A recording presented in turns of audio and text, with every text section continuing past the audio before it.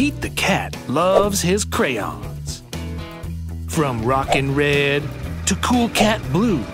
With a box of crayons, there's nothing Pete can't do. Oh no, Pete has lost all of his crayons. Can you help him find them by unlocking all of the clues?